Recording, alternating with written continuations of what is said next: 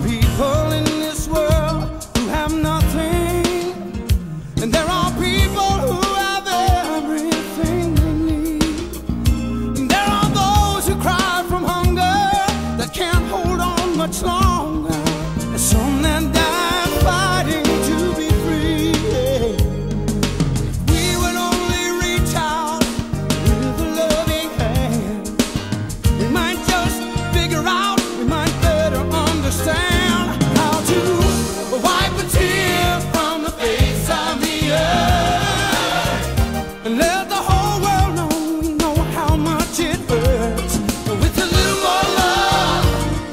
and a little more compassion,